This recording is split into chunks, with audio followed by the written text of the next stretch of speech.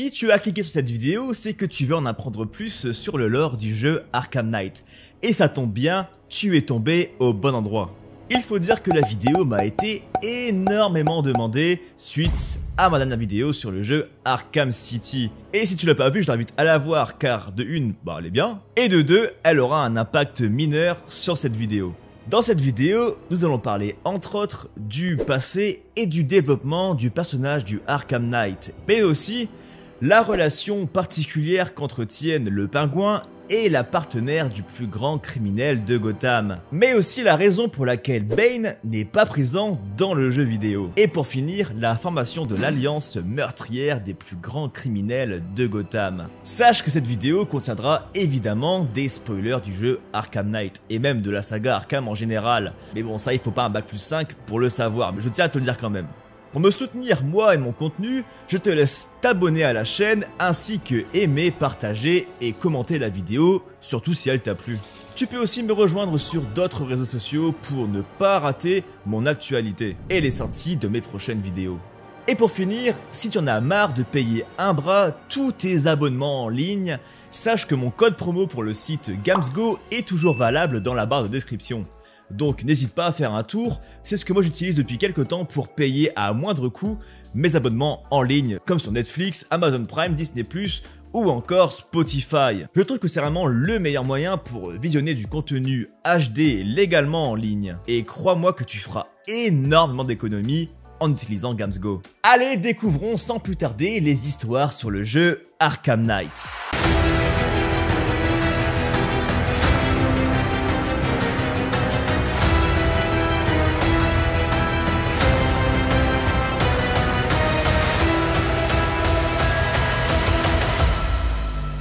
Il est l'antagoniste majeur, un personnage charismatique qui a été apprécié par l'immense majorité des joueurs du jeu Arkham Knight. Mais qui est-il vraiment? Même si tu sais qu'il se cache sous le costume, il est toujours bon de rappeler son passé et son histoire, pour savoir quelles sont ses motivations dans le but de tuer Batman pour le bien de sa ville.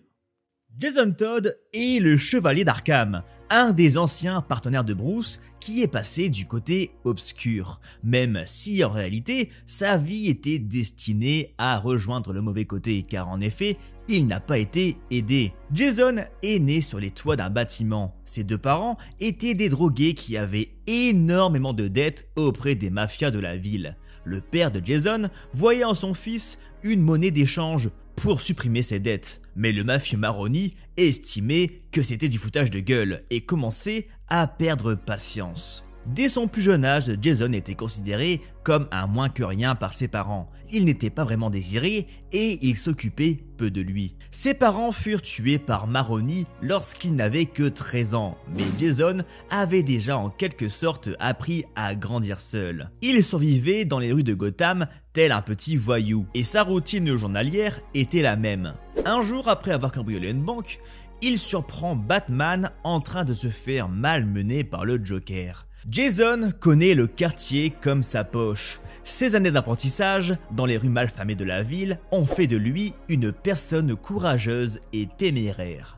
Il emprunte le bas de grappin de Batman puis affronte le Joker. Grâce à sa ruse et son agilité, il est à deux doigts d'en finir pour de bon avec le plus grand criminel de la ville. Mais Batman l'en empêche. Cependant, le Joker lui dit que toute sa vie, il se rappellera de son visage et que le moment venu, il le paiera très cher. Batman décèle en Jason un talentueux garçon, mais qui a suivi le mauvais chemin. Suite à cela, Jason est invité à participer au programme des entreprises Wayne qui consiste à aider les enfants qui n'ont pas les moyens d'aller étudier à l'école. Jason se consacre énormément à ses études et devient un élève brillant un soir, Batman vient lui rendre visite. Jason pensait que c'était évidemment pour le punir de ses bêtises commises dans sa jeunesse, mais pas du tout. Batman a vu son potentiel et déclare qu'il souhaite le voir patrouiller à ses côtés. C'est donc grâce à une rencontre inattendue que le destin de Jason Todd a totalement dévié. Il se sent enfin utile à la société et laisse derrière lui tous les mauvais moments, notamment le fait que ses parents le rabaissaient sans cesse. Les ennemis de Batman découvrirent qu'il y avait un nouveau Robin, et en furent les frais. Toutefois, Batman n'était pas vraiment satisfait des performances de Jason.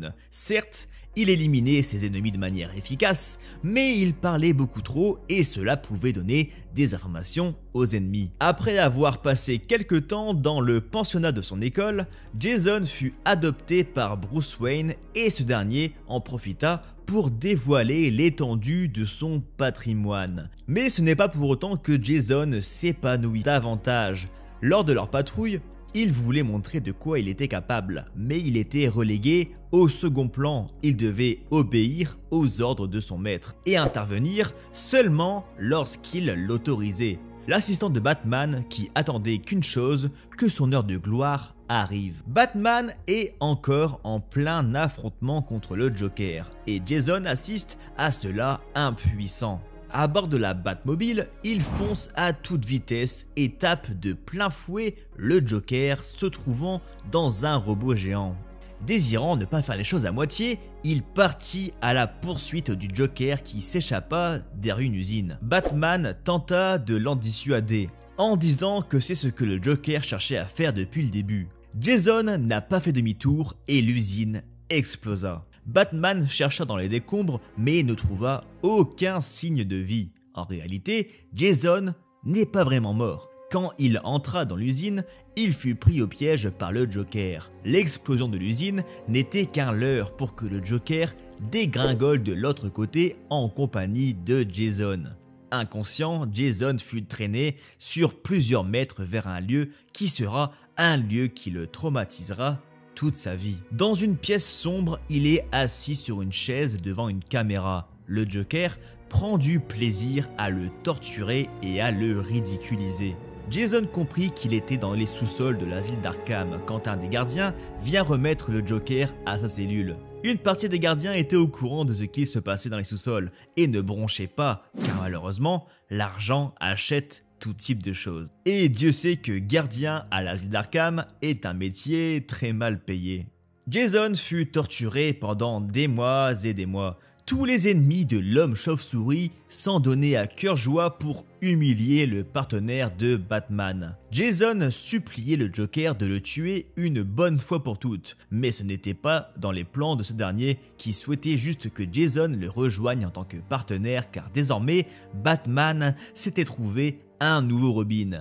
Il mit en tête du garçon que tout cela, c'est la faute de Batman, que ce n'est qu'un raté qui n'a jamais été aimé et qui sera jamais oublié par l'homme chauve-souris. Le Joker officialise sa nouvelle relation avec Jason en le marquant au fer rouge d'un J sur le visage. Au passage, heureusement que c'est le Joker qui torture Jason Todd, car avoir un J sur le visage peut tout bonnement rappeler le prénom de Jason. Tandis que si c'était la Suicide Squad qui avait gravé leur initiale sur le visage de Jason, avoir les lettres SS peut porter à confusion. Toute cette séquence filmée par le Joker a été diffusée lorsque Batman se trouvait au studio Panessa, l'antre de Harley Quinn. On peut voir en action le Joker torturer Jason, sous les yeux impuissants de Batman qui ne savait pas du tout que son ancien partenaire était encore en vie. La balle que le Joker a tirée sur Jason ne l'a pas tué, il a soudoyé un médecin pour qu'il vienne l'opérer.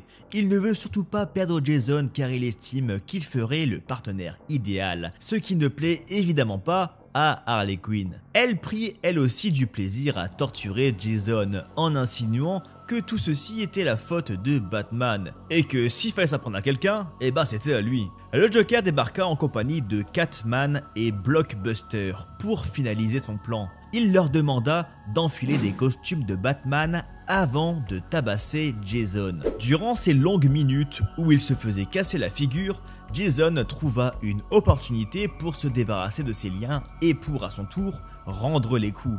Le Joker est à présent dans la tête de Jason. Il agit comme bon lui semble. Il incita Jason à tuer les copies de Batman avec un pistolet, et ce dernier n'hésita pas une seconde. C'est Harley Quinn qui l'appela pour la première fois Arkham Knight à ce moment-là, un nom qui restera les pensées de Jason. Lors des événements du jeu Arkham Asylum, Jason profita de l'absence du Joker pour s'échapper, mais il fut stoppé par le mercenaire Deathstroke, qui était payé par le Joker pour garder un œil sur Jason.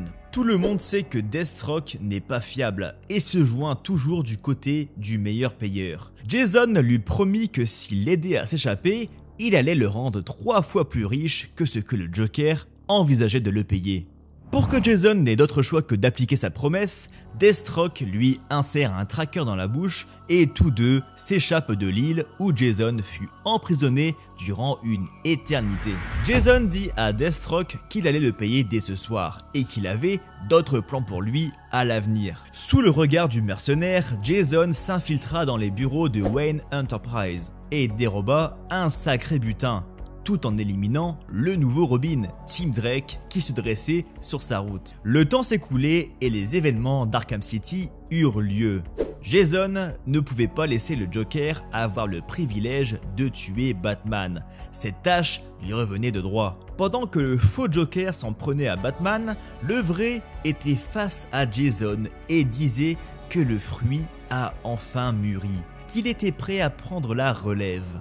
Il lui révéla que son évasion faisait partie de son plan. Sa vie n'a jamais été entre ses mains, mais était manipulée par toutes les envies du clown. Le Joker l'avait délibérément libéré pour que son arme secrète se charge du Chevalier Noir si ne parvenait pas à le tuer lui-même. Les derniers mots du Joker à Jason furent devient un chevalier encore plus noir que Batman et fait lui comprendre qu'il n'aurait jamais dû t'oublier. On reviendra un peu plus tard sur le parcours entrepris par Jason pour exécuter son plan final qui consiste à tuer Batman et à montrer à Gotham qu'il ferait un meilleur justicier. En attendant, voyons voir ce que le Joker a laissé comme souvenir à Gotham après sa mort. Après la mort du Joker et après que Batman ait confié le corps à Jim Gordon, des médecins légistes effectuent une autopsie du corps et se rendent compte au prix de leur vie que le Joker avait une dernière surprise pour eux, une clé USB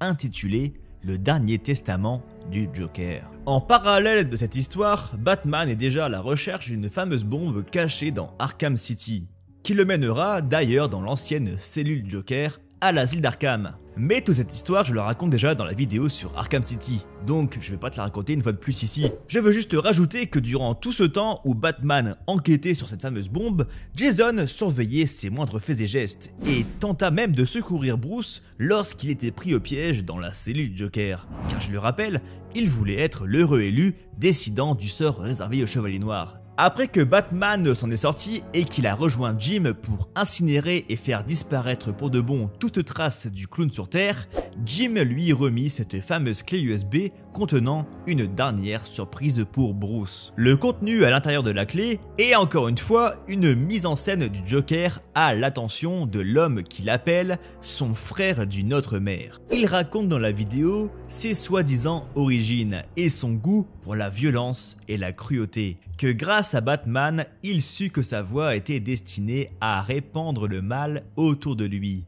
et à hanter les pensées du Chevalier Noir. Dans son testament, il déclare qu'il souhaite que son esprit perdure dans Gotham, même après sa mort qui semble inévitable. Une manière subtile de répandre le chaos sans explosion ou quelconque artifice. En plein visionnage de cette mise en scène, Bruce reçoit un appel, le commissaire Jim Gordon, qui semble infecté par le gaz du Joker. En un temps record, il se rend au GCPD et constate que Jim tenta de mettre fin à ses jours pour éviter de donner raison au Joker. Il se rend ensuite au pénitencier de Blackgate, endroit où sont enfermés tous les détenus de l'asile d'Arkham suite à la destruction de l'asile.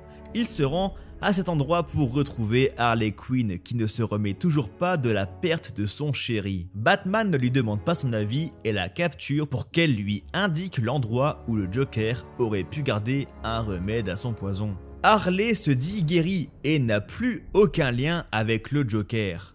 Et pour le prouver, Batman lui demande l'endroit exact où il pourrait trouver le remède. Harley lui dit étape par étape les chemins qu'il doit emprunter pour y accéder et s'excuse pour tout le mal qu'elle avait fait auparavant. Batman trouve sa louche, mais il s'engouffre dans les entrailles de l'ancienne planque du Joker, et tombe en effet sur un endroit où sont stockés plusieurs barils contenant l'antidote requis pour sauver le commissaire Jim Gordon. Mais Batman n'est pas tout seul dans cette pièce. Harley Quinn avait oublié de dire qu'il y avait un grand méchant crocodile qui gardait les lieux. Killer Croc est le gardien de cette pièce après que Harley les nourrit et qu'elle lui promit qu'elle lui livrerait son meilleur repas, un homme déguisé en chauve-souris. Les deux se mettent alors à se battre, même si Batman ne souhaite pas en arriver là, car il a une autre tâche plus importante à réaliser.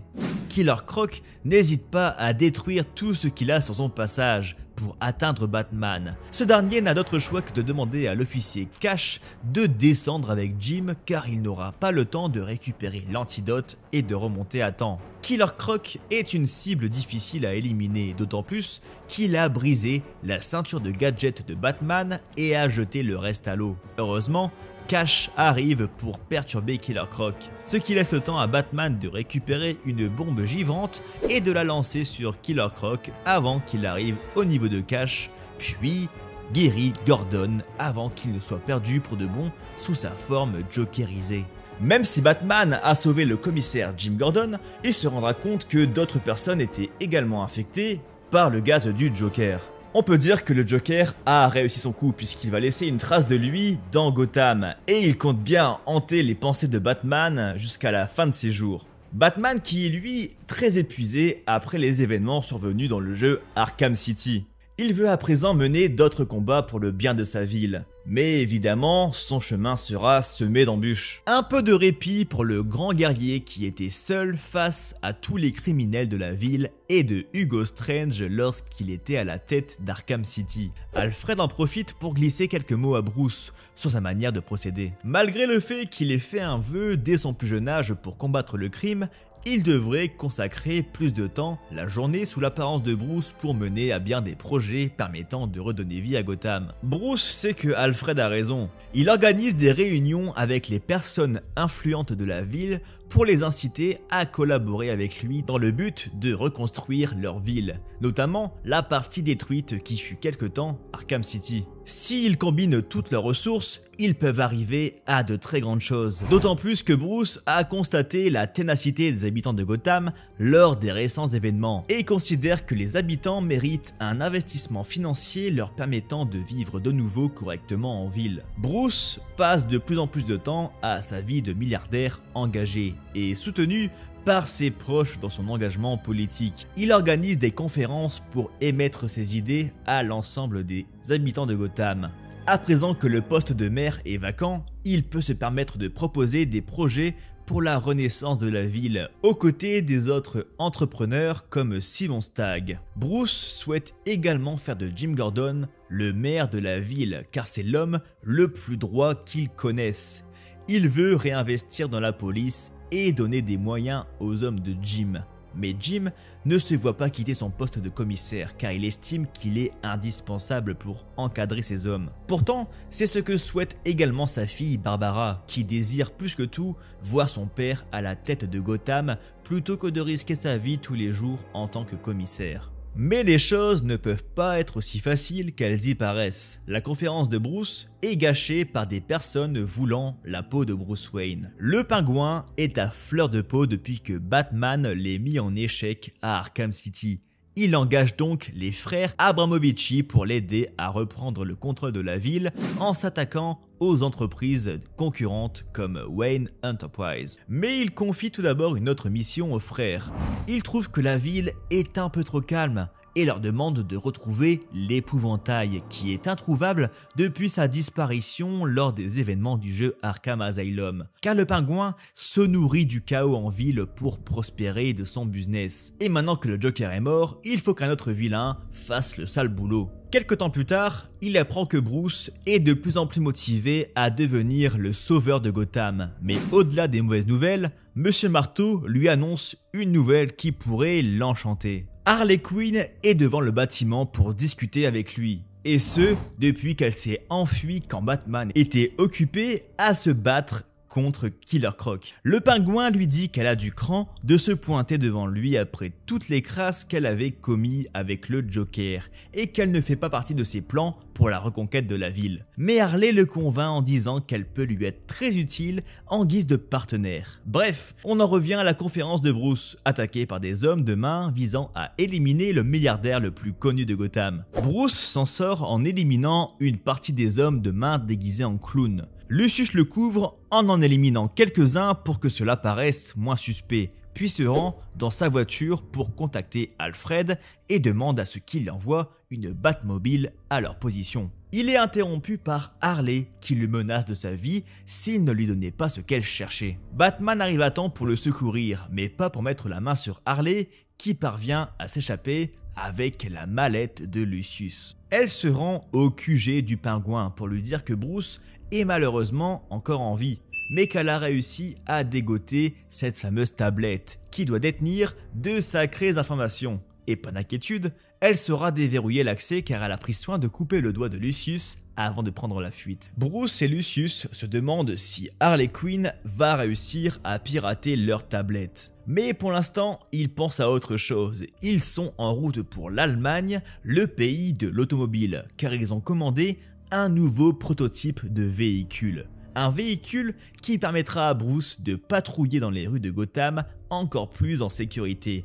Car dorénavant, ses ennemis l'attaquent avec du gros calibre et il faut de quoi se protéger. Le véhicule en question sera importé dans les prochains jours puis conduit à Gotham par un transport routier. Eux seuls sont au courant de cette importation, mais plus pour longtemps. Harley n'a pas réussi à tirer grand chose de la tablette, car les accès de sécurité sont trop élevés. Mais le pingouin, lui, a réussi à dégoter une information dans la base de données de la tablette, une date et une localisation. Il décide donc d'embaucher les cousins Tweedledee et Tweedledum pour diriger une opération consistant à récupérer une mystérieuse cargaison de la société Wayne. Il leur fournit le matos nécessaire ainsi qu'un allié de taille et la fine équipe se met en quête de ce fameux container transporté un camion. Bruce et Lucius sont avertis par le chauffeur que quelqu'un tente de dérober leur cargaison. Bruce prend les commandes de son Batwing et se dirige vers l'appareil volant des cousins.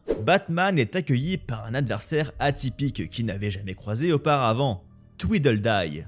Il est bien plus imposant et puissant que les deux cousins qui ne peuvent que l'encourager à éliminer la chauve-souris. Batman est en difficulté dans les airs, Tweedledee est prêt à se sacrifier pour emporter Batman avec lui, mais Batman n'a pas dit son dernier mot et explose le container pour libérer le véhicule qui s'y cachait. Tweedledee est mis KO par la même occasion. Et après que Batman ait réussi à contrôler son véhicule lancé à pleine vitesse, il retourne capturer les cousins Tweedledee et Tweedledum. Ce fameux bolide sera le plus grand allié de Batman durant tout le jeu. Et on peut dire que le constructeur n'y est pas allé mollo puisqu'elle est efficace tant en attaque qu'en défense. C'est un véritable tank. Enfin, un bat tank. C'est en livrant les deux cousins à la police qu'il apprend qu'un individu qui semblerait avoir un costume de chauve-souris erre dans les rues de Gotham pour traquer tuer tous les criminels de la ville. Le chevalier d'Arkham commence tout doucement à se forger une réputation dans la ville,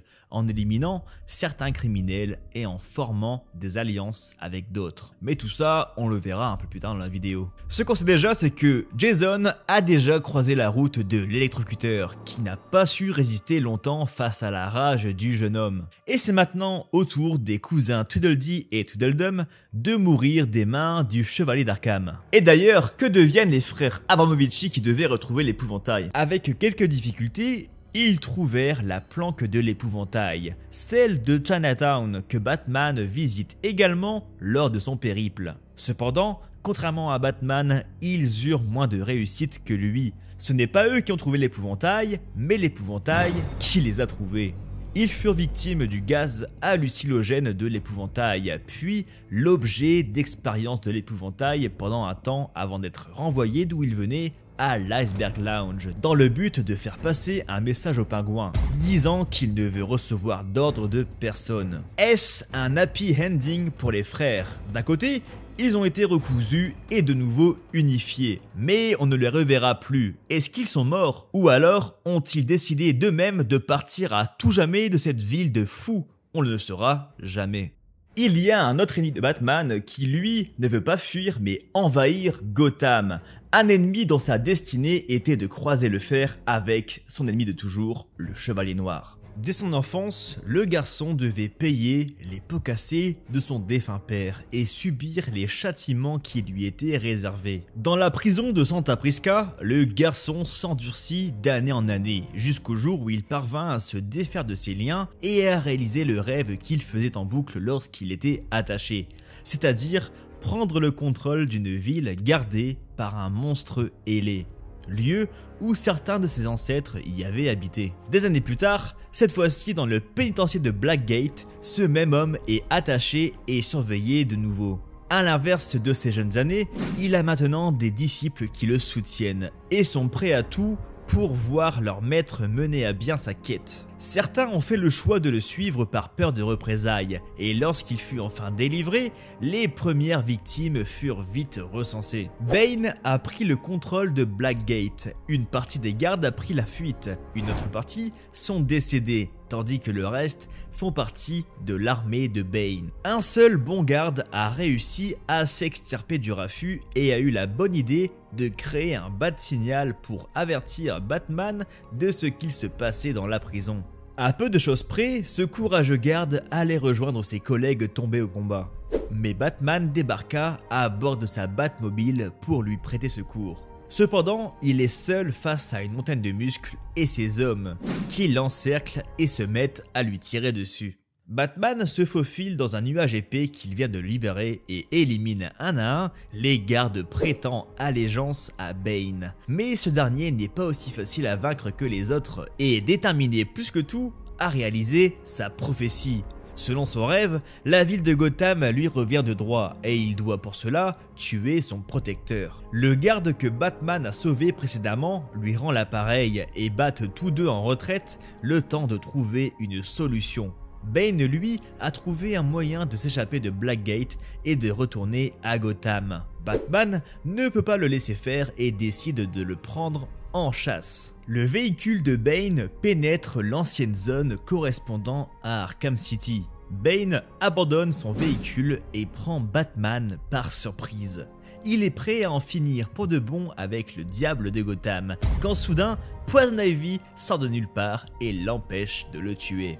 Ivy estime que ce n'est pas à Bane de décider de la vie ou de la mort de l'homme chauve-souris, et qu'en plus, elle choperait une belle prime par le pingouin. Les deux vilains se battent entre eux et ne prêtent plus attention à Batman, qui est maintenant entre les mains du chevalier d'Arkham. Comme vous le savez, il a de grands projets pour lui, il ne peut pas le laisser mourir et trafique son équipement en indiquant un signal à suivre pour l'occuper toute la nuit le temps qu'il finisse ce qu'il a à faire. Peu de temps après, Batman est de nouveau sur pied et intervient dans le combat opposant Bane à Ivy.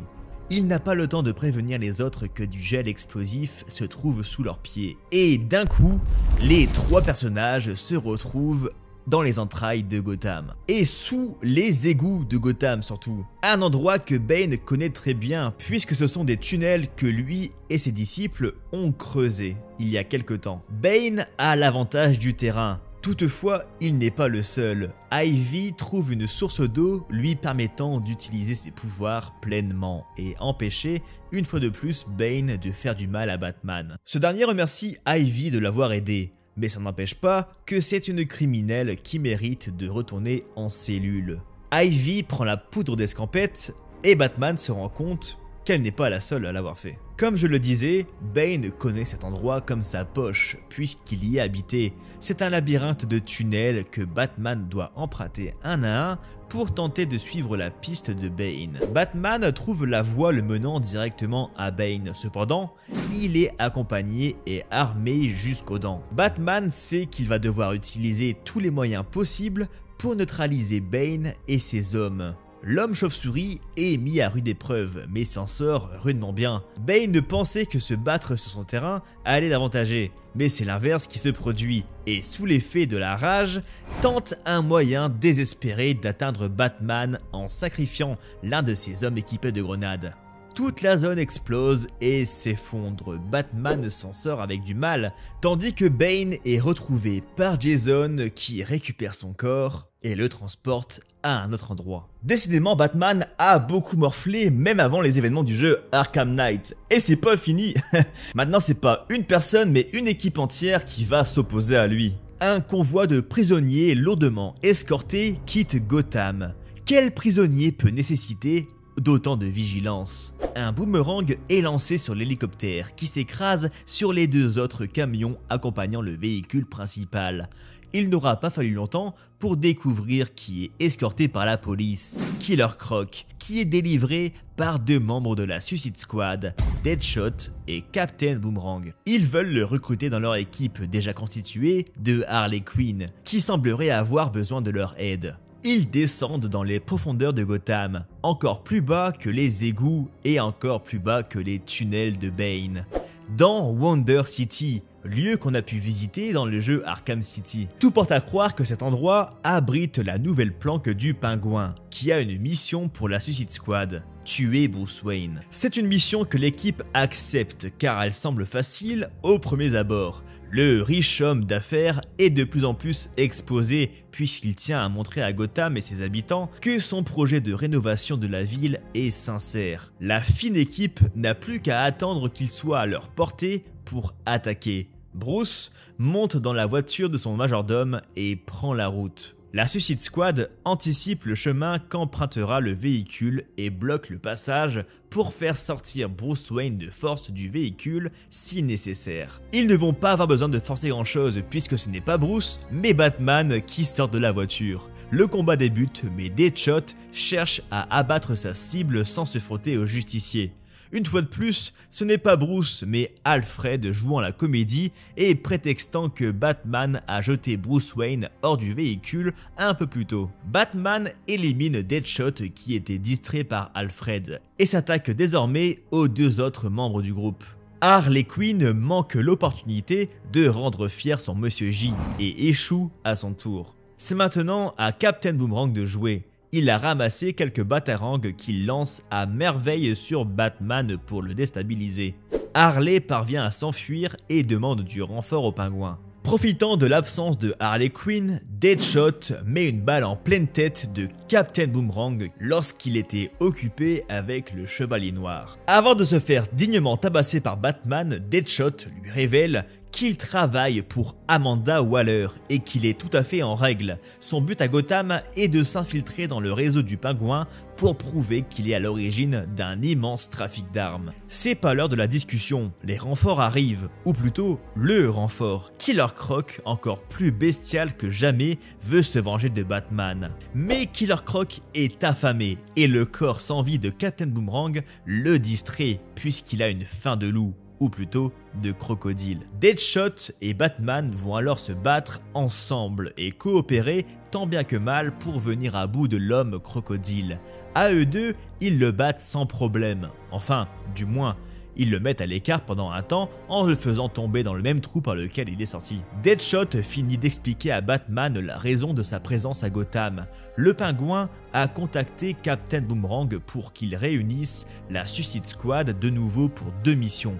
La première, tuer Bruce Wayne, qui est désormais un échec. Mais la deuxième mission compte bien plus aux yeux du pingouin. Aller voler les expériences de l'ami de Bruce Wayne, Simon Stagg, qui semblerait détenir quelque chose pouvant intéresser le pingouin. C'est semblerait-il la raison principale pour laquelle Deadshot a été envoyé par Amanda Waller. Dans les laboratoires des entreprises Stag, Batman et Deadshot semblent avoir trouvé ce qu'ils cherchaient, le projet Meta. Un scientifique les surprend et tire à vue sur les deux personnages. Ils échappent aux balles, mais ce n'est pas le cas de la vitre qui abritait le projet Meta. Une silhouette métamorphe s'échappe et attaque le scientifique qui l'a libéré. Pris au dépourvu, le scientifique avoue à Batman que le projet n'était pas encore fini, mais qu'il était censé pas être dangereux. Simon Stagg avait réussi à récupérer un échantillon de gueule d'argile et à étudier sa composition pour ses propres intérêts. Deadshot emprunte une arme qu'il trouve au laboratoire pouvant peut-être neutraliser le métamorphe et parte à sa poursuite avant qu'il ne fasse du mal à quiconque.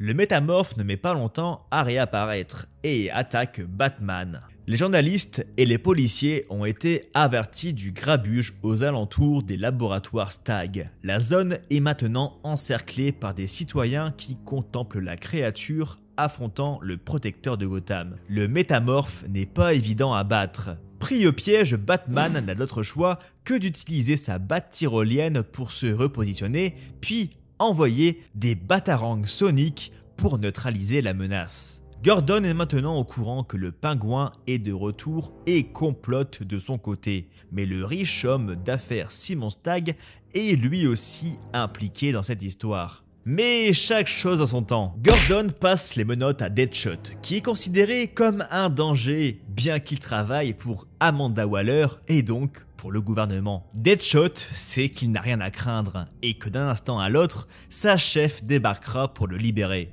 Il aura fallu en effet quelques heures pour que Amanda Waller vienne à lui. Elle dit à Gordon de se mêler de ses affaires car ses opérations secrètes n'engagent que elle et son bien au-dessus des lois de Gotham. Suite à cet accident, Bruce Wayne s'invite sur les dirigeables de Simon Stagg pour couper toute relation avec lui. Il estime que ses ambitions sont bien trop dangereuses dans son projet de reconstruction de Gotham.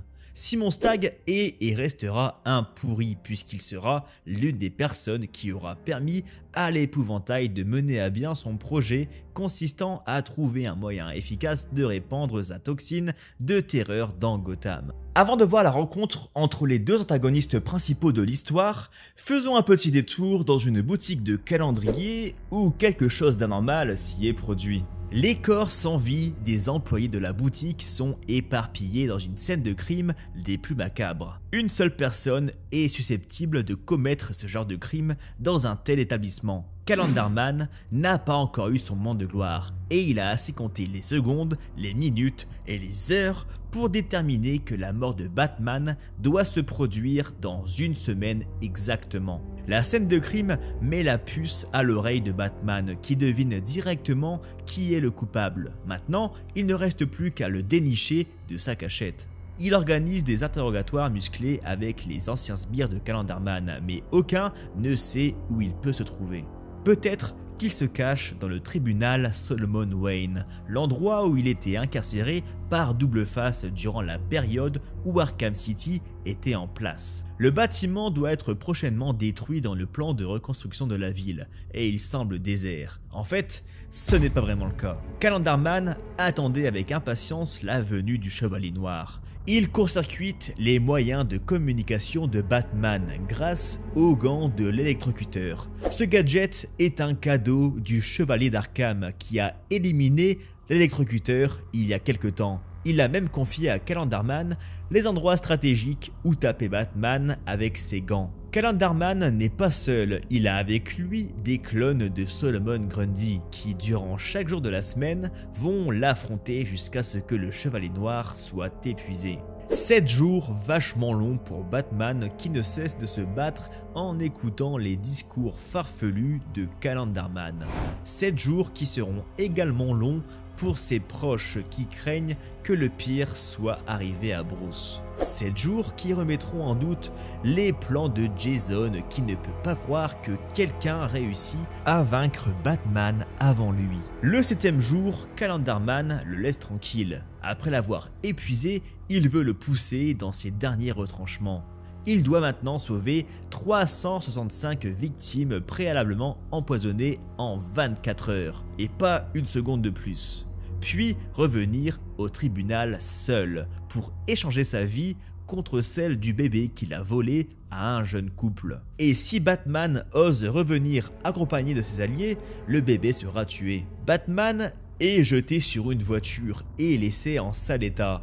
la journaliste Vicky Vale, sur place, apprend grâce à la liste qu'il avait sur lui que 365 citoyens étaient en danger. Elle profite de sa médiatisation pour alerter les citoyens concernés et les invite à se rendre à l'hôpital le plus vite possible. Batman est secouru par Robin puis ramené à sa Batcave où Alfred tente de le remettre sur pied. Pendant ce temps, Batman peut compter sur ses nombreux alliés pour lui prêter main forte et secourir le plus de monde possible en plus de la mobilisation des policiers de Gotham. Le peuple commence à se poser des questions sur l'éventuel impact de Batman sur la ville. Pour s'en prendre à lui, des individus dangereux mettent la vie des innocents en danger et Batman n'est même pas présent pour les sauver. Vicky Vale informe les citoyens que Gordon, l'un des candidats à la mairie, est un très grand allié de Batman. Est-il judicieux de voter pour quelqu'un se reposant sur les méthodes d'un justicier autoproclamé. Toute cette agitation satisfait Calendarman qui prend un malin plaisir à voir le peu de reconnaissance que les gens portent à Batman alors qu'il est gravement blessé. Un ennemi n'est pourtant pas d'accord avec les méthodes de Calendarman. L'épouvantail sort de sa tanière et compte bien échanger quelques mots avec la personne lui volant la vedette. Calendarman est pris d'une peur intense causée par le gaz de l'épouvantail. Tous les plans qu'il avait prévus en fonction des jours de la semaine s'envolent à jamais. Toutefois, l'épouvantail n'est pas venu ici pour s'en prendre à lui, il souhaite juste faire comprendre à Calendarman que son plan tombera à l'eau comme toutes les fois où quelqu'un s'en est pris au chevalet noir. Il ne faut pas l'attaquer physiquement, mais mentalement. Il lui demande d'être patient et que lui et tous les autres pensionnaires d'Arkham vont pouvoir profiter du plan que l'épouvantail a prévu de lancer le jour d'Halloween. Il demande à Calendarman de relâcher le bébé et de s'enfuir avec lui, le temps de finir les préparatifs de ce qui s'annonce être comme la fin définitive de la chauve-souris. Calendarman ne sera pas un ennemi présent dans le jeu, mais on peut trouver l'une de ses planques dans laquelle on aperçoit qu'il attendait le jour idéal pour se montrer. D'ailleurs, on le voit à la toute fin du jeu présent lors de l'activation du protocole Nightfall devant le manoir Wayne. Voyons maintenant ce que Jason a préparé durant tout ce temps. Pendant que Bruce était occupé avec ses conférences autour de Gotham, Jason en a profité pour se rendre au manoir Wayne car personne occupait les lieux, sauf une personne que Jason savait où trouver, le jardinier du manoir embauché par Bruce. Jason lui subtilisa les clés du manoir et lui dit de ne plus jamais remettre les pieds ici. Grâce à ces clés, il put pénétrer à l'intérieur du manoir. Connaissant les lieux, il a évité avec succès les pièges délimitant la Batcave, puis s'y est rendu pour pouvoir pirater le réseau de Bruce et y avoir accès de n'importe où et n'importe quand. Du coin de l'œil, Jason aperçoit son ancien costume gardé par Bruce ainsi qu'un portrait d'eux. Jason doit cependant garder son calme, il n'émet aucun doute sur le fait que Bruce l'ait ignoré et a uniquement gardé une trace de lui en guise de trophée, comme il en a l'habitude. Il doit maintenant rassembler tous les éléments permettant d'avoir une chance de prendre le dessus sur Bruce et de lui faire vivre un cauchemar. Deathstroke est son bras droit, il sait où trouver les meilleurs mercenaires du monde. Jason leur rend visite avant leur débarquement à Gotham. Il attend d'eux qu'ils soient au top de leur forme et veut les voir s'entraîner jour et nuit pour se surpasser. Deathstroke présente à Jason le tout nouveau modèle de blindé qui sera utilisé par ses miliciens. Jason émet des doutes quant à leur utilité car ils sont lents et pas très bien manœuvrables. En revanche, ils ont une puissance de feu extraordinaire. C'est bien beau d'avoir cette puissance de feu, mais il faut bien financer tout ça. Des soldats, des armes, de l'équipement de haute technologie et Deathstroke surtout, ça doit coûter très cher. Jason ne veut pas se salir les mains et va ordonner à d'autres criminels d'effectuer quelques braquages à sa place, comme Firefly par exemple qui lors d'un cambriolage, pour son propre compte, eut le plaisir de faire face à la personne qui croyait être Batman, mais qui se révéla être bien pire que lui.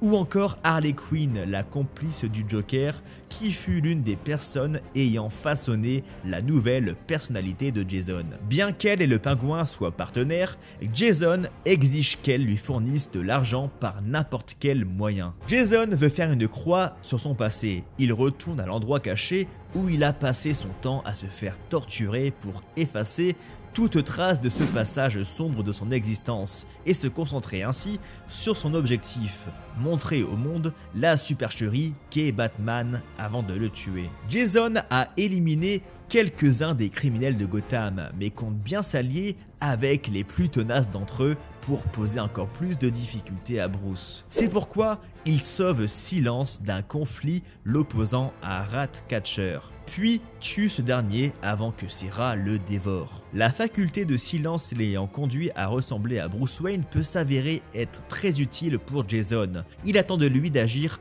au moment venu pour accabler Batman davantage. Jason s'entraîne jour et nuit. Il observe à distance les va-et vient de Bruce à partir de son manoir. Quand Batman sauva le bébé relâché par Calendarman, Jason s'est douté que quelque chose clochait. Quelqu'un de bien plus menaçant que Calendarman a dû le soudoyer pour concocter un plan d'une plus grande envergure.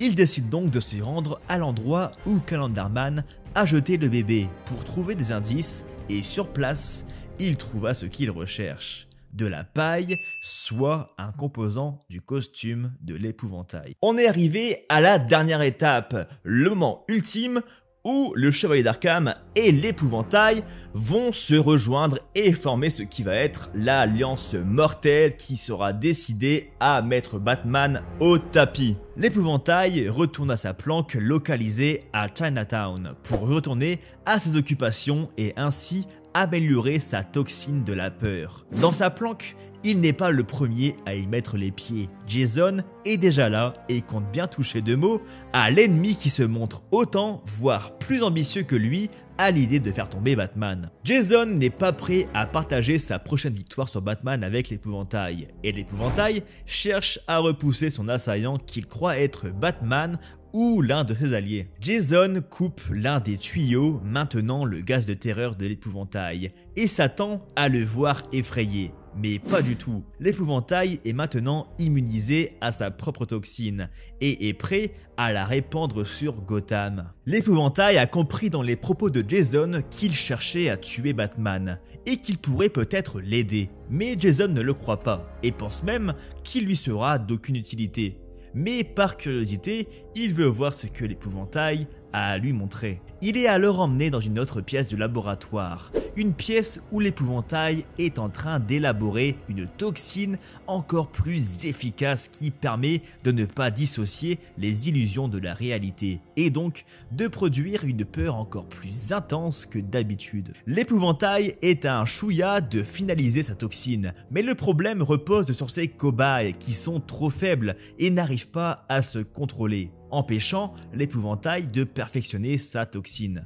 Jason propose à l'épouvantail de l'aider, car il a en sa possession un individu possédant les caractéristiques nécessaires pour survivre à la toxine. Cette personne est alors enfermée dans un cauchemar éternel. Elle revit en boucle des instants traumatisants de manière ultra réaliste. Cette personne, c'est Bane. Jason l'avait recueilli après l'explosion l'ayant assommé. Bane est alors la cible d'expérience pendant que l'épouvantail et le chevalier d'Arkham prennent connaissance du plan de l'un et de l'autre. Ils sont également conscients que d'autres criminels de la ville vont tenter de mettre la main sur Batman. Ils ne sont pas contre à l'idée que Batman soit diverti par les autres criminels le temps que le plan de l'épouvantail et du chevalier d'Arkham prend de plus en plus d'ampleur. Ils souhaitent tout de même réunir les plus notables d'entre eux pour les notifier de ce qui se trame. L'épouvantail se charge d'inviter un à un le sphinx double face, le pingouin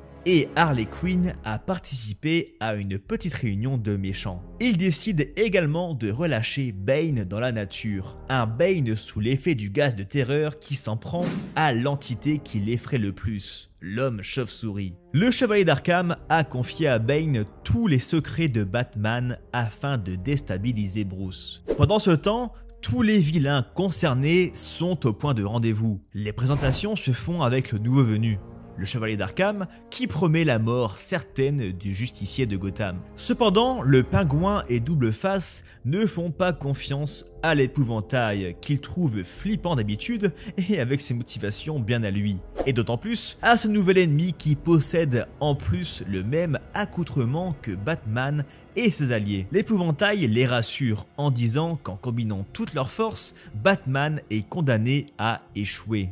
Jason n'est pas encore populaire dans les rues de Gotham. Il va pallier sa faible réputation par une démonstration de force en demandant à Deathstroke d'utiliser un de leurs joujoux puis en prouvant que physiquement il est au-dessus de Batman. Comment? En s'interposant entre Bane et Batman bien sûr, et en éloignant Bane le plus loin possible de la vue de tous. Il va n'avoir aucune pitié pour lui et l'attaque en visant les endroits fragiles. Il lui tranche tout d'abord la gorge pour qu'il se vide de son sang, lui tire des balles dans les jambes, le projette vers une citerne inflammable avant de la faire exploser, puis bah, lui tire 5 balles dans la tête pour l'achever une bonne fois pour toutes. La destinée de Bane fait qu'il est mort au même endroit que ses ancêtres, dans la ville de Gotham, par un personnage ressemblant à une chauve-souris. C'est maintenant au tour de Jason d'accomplir sa destinée éliminer Bane lui a permis de se mettre les vilains de Gotham dans la poche. Et attend d'eux qu'ils soient prêts pour le jour J, le jour d'Halloween, signant la fin de Batman. C'est enfin Halloween, le plan de Jason peut enfin se mettre en place. Malgré son alliance avec les criminels de Gotham, il mise tout sur son armée de miliciens et sur Deathstroke. Les habitants de Gotham sont actuellement soulagés par la tranquillité de la ville, et ce, depuis que quelques semaines plus tôt, ils eurent la surprise d'apprendre que le plus grand criminel de Gotham est décédé. Jason veut instaurer un climat de terreur aidé par l'épouvantail. Les habitants ont maintenant l'habitude de ce genre d'attaque et vont pour la majorité fuir la ville. Les troupes de l'armée de Deathstroke pénétreront petit à petit dans Gotham en empruntant les tunnels creusés par Bane. Ensuite, Deathstroke bloquera les accès menant à la ville grâce à sa logistique. De ce fait, Gotham sera son terrain de jeu et Batman sa cible à abattre. Batman lui discute avec le commissaire à propos des cartouches retrouvées près de la scène du crime où le corps de Bane a disparu. Des cartouches spéciales qu'on ne trouve généralement pas à Gotham, du matériel très coûteux et rare. Batman ne sait pas à quel ennemi il a affaire, car tuer Bane c'est du lourd, mais pas de temps de répit. Jim Gordon lui annonce qu'en ce moment, Double Face et ses sbires commettent des braquages, le pingouin et ses troupes font des fusillades, et des mystérieux objets en forme de point d'interrogation sont retrouvés un peu partout en ville il démarre sa patrouille en survolant le Police Dinner, soit le lieu qui, la nuit tombée, va devenir le point de commencement d'une longue nuit pour Batman où ses ennemis vont tenter de décrédibiliser la légende de Gotham. Si tout comme moi tu as joué au jeu vidéo, tu sais comment l'histoire se finit, donc je vais pas te le rappeler maintenant, ça sert à rien. Je tiens juste à souligner que le protocole Nightfall achève dignement l'épopée de Batman que nous autres joueurs ayons vécu aussi. L'histoire d'un homme qui, après un drame, s'est forgé l'idée d'éradiquer le crime dans sa ville. Suite à cette nuit d'Halloween, Batman semble avoir appréhendé tous les criminels de sa ville et n'a donc plus de raison de porter son costume. On peut donc dire qu'il a réussi sa mission, la mission qui s'était mis dans la tête depuis son enfance.